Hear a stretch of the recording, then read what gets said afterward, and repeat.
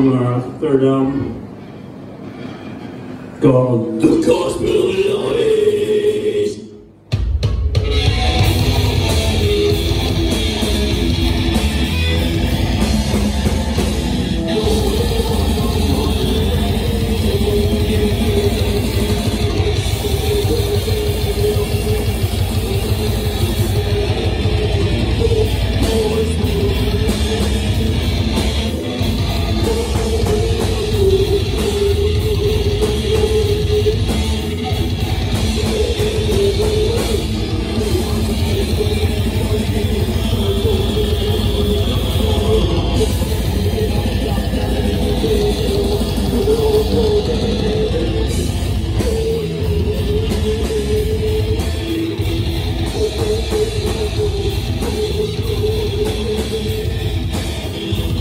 you.